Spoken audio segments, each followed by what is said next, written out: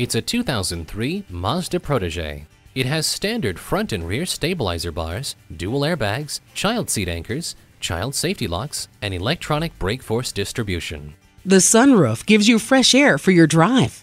This Protege offers affordable luxury, great styling, and the always rock-solid Mazda reliability. Come see it for yourself today.